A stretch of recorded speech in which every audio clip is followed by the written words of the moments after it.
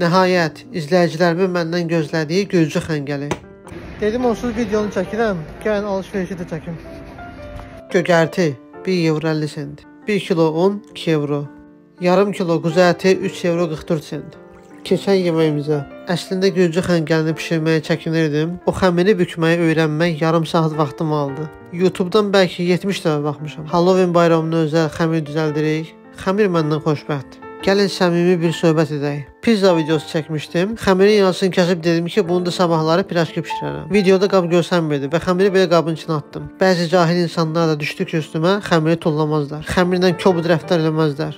Yəqin onlar xəmirlə belə davranır. Xəmiri rahat açmaq üçün sərt işləmək lazımdır. Üstünü yaxşı ört, soyuq olmasın. Nəysə, xəmiri soyuducuya qoyub gözlədirik və o vaxta kimi də yeməyin içliyini hazır edirik. Soğanı əzişdiririk və küt bıçağımızı reklam edərək gögərtimizi doğrayırıq. Göyərtini olduqca xırda doğramaq lazımdır. Sonra bir qaşıq duz, yarım qaşıq istiot, yarım qaşıq paprika. Alcı almaq yadımdan çıxdı. Eyb yox, özüm zəhərlənirəm. Və içliyimiz hazırdır. Gəldik çətinlik çəkdiyim məqama. Xəmiri anakonda kimi uzun edirik və başlayırıq kündələrə bölməyə. Bu hissəyə bəlkə də 1 saatdan çox vaxtım getdi.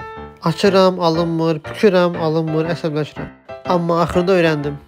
Əslində o qədər də qəliz deyil. Sadəcə bir işə girdiyində gərək qorxmayasan. Bu qızlar yemək bişirəndə nə əziyyət çəkir? Ümumiyyətlə bu çəkiliş 3 saat davam etdi. Məncə ilk dəfə üçün yaxşı bükmüşəm. Elə deyil? Təsdiqlədiyiniz üçün təşəkkürlər. Qazanı qoyuruq və duz əlavə edirik.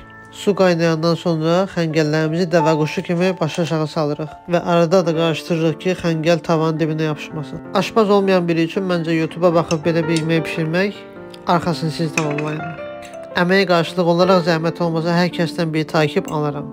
Göz haqqınızı halal edin. Allah amanında.